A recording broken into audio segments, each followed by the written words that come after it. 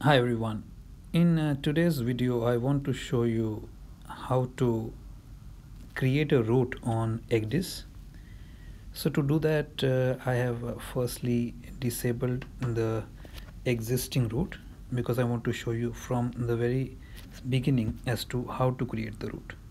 So here we'll be creating a short route to uh, Dunkirk pilot station in New Zealand. But uh, in case you have to create a very long route across ports which are located uh, at vast distances it's a good idea for you to start uh, from the reverse. That is start from the destination port and work your way backwards to the position of the ship. Here of course because I can see the position of the ship and the port on the same screen if I zoom out a little bit I am going to start from the ship. So I go to route manage route and then new and then I'll create a new route from the position of the ship. So you can see here I'm zooming on exactly to the position of the ship as much as I can. And uh, then I will create a route to the Dunkirk pilot station by in introducing the waypoints. So if there are any waypoints uh, of course you delete all that waypoints you start fresh. So as you can see my first waypoint starts from the current location of the vessel right so if it was located very far off I said I recommend you working backwards from destination port to the ship because that makes it easier. But here you can see I'm just creating the waypoints now.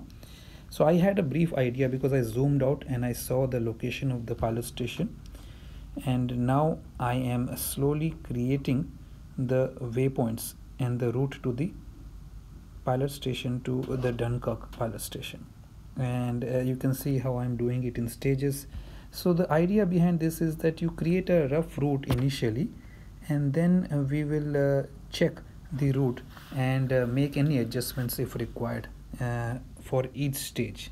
So don't worry about making it uh, very accurate at the very first attempt. So here i'm just doing a basic i'm trying to keep the vessel as per the channel requirements. Sometimes like you can see here i'm extending the waypoint when i can see the passage ahead of me sometimes uh, you cannot see the passage so you may have to create multiple waypoints but then I'll show you how you can uh, get rid of some of the waypoints um, if they are basically the same course you don't have to create multiple waypoints.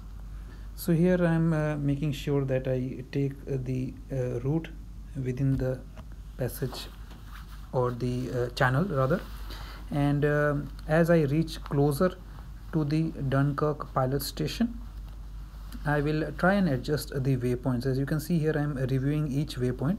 And see I removed one waypoint because I didn't think it was required because it was pretty much connecting uh, two waypoints on the same course.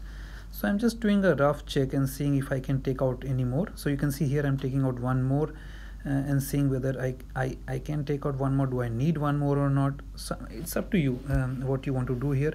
So ideally I thought I could take out one more but I uh, decided not to do so i'm just adjusting the course here. So this is what you have to do. You'll just make a series of waypoints first and then uh, go back and start checking whether you need all those waypoints or whether you can just delete one of them and adjust it. What you also have to do is basically validate the route as well. So once you create the route you have to validate the route. So you can see on your top right hand screen you have some options available. Validate and view validate unattended validate manually. So ideally you should use validate and view. Validate unattended means it will be faster of course but uh, it will be automatically it will be uh, checking each leg of the route and proceeding. But validate and view or validate and manually helps you to validate each leg of the route and then viewing it and making sure that everything is fine before proceeding to the next waypoint. So what you can do is do a validate and view check each leg make sure everything is fine and then do a final check by validate unattended which will be faster of course automatic but always start with validate and view like I am. So you can see here how I'm checking each leg of the route and then I'm also checking what are the warnings that are coming up. For example restricted area warnings uh, how important they are whether I need to make any changes to the route because of this or not. So each warning for restricted areas warning areas will give me the details of each. So here you can see there are some areas where anchoring is prohibited. So I know that here I cannot have a, a contingency anchorage here because anchoring is prohibited. So these are some of the tips I can use to plan my route. So I can see I can checking each and every warning. So even if there are four warnings or four restricted areas I am checking each restricted area to make sure that nothing is very serious that will affect my passage or my ship's route in any way most of them in this case here is showing its anchoring is prohibited naturally so because it's a it's a channel so I cannot just anchor my vessel in the middle of the channel and block the areas. Then there are some cautionary areas. You can see here cautionary areas are canals. This chart is not to be used for navigation in the canals. So it's giving a warning that this chart is not to be used for navigation in canals. So maybe I have to shift to another chart which will give me a more a zoom uh, or more closer look into the channel which will highlight the dangers to navigation even more. Uh, but as long as it doesn't affect my passage um, I keep going regarding the waypoints. So here I know that I may have to switch the chart or and or and or have a more zoomed in chart which will highlight the features of, of the sea area in there. So now that I have done each leg you can see that I'll go and check the safety contours the safety depths. So you can see here how I can choose uh, depth shades of two or four. Four depth shades show me the depth depths or of water in four colors which gives me more detailing but also it clutters up the chart. So i ideally personally as a navigator i like two depth shades which give me basic enough information for me to safely navigate my vessel. But it is up to you the safety depth and safety contour also you will adjust as per the draft of your vessel and your requirements or your master's requirement rather to have an adequate underkeel clearance you can also mark the shallow contours and the deep contours specific to your ship's draft which will give you adequate underkeel clearance or UKC to safely navigate your vessel. Once you have made those adjustments then you will do a final validation again and uh, a final validation should again be done with the option of validate and view. Monitor each leg of the route. Review the restricted areas and cautionary areas again. Remember these are very important because once you validate and your route is in place then you don't want the master to shout at you or you don't want to get into trouble or you don't want the vessel to be in unsafe conditions because you didn't check the route properly. So again do a validate and view. Check each leg check and read each restricted area and cautionary area make sure that if any corrective action is required you do so.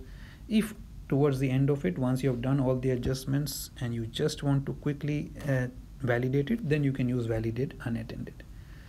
Alright so here I made a quick check. I have checked most of the um, cautionary and restricted areas already.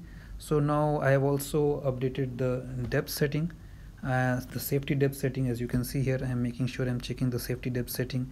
So you can make it uh, different depending on the area in which you are transiting of course if you are an open sea you don't have to worry too much about these because you have enough uh, sea uh, depth available. But if you are in the channels then you have to adjust these shallow contours and depth contours depending on the draft of the vessel to keep the vessel uh, afloat at all times and uh, to prevent any kind of grounding related incidents. All right. And then you can see that uh, once I am happy with that I see all these uh, courses are laid out.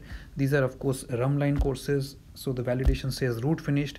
I will give a name to the route so that I know which route to select uh, when the time comes. So here I am naming it a Dunkirk approach so that uh, I can choose these. There will be many routes uh, saved in the um, ECDIS system. So you have to make sure you go to route and then you can choose the route by the name of the route. So when you say manage route I will use Dunkirk approach display list waypoint and then you can choose edit waypoint if you want to. Otherwise just click on monitor and your route is ready to go.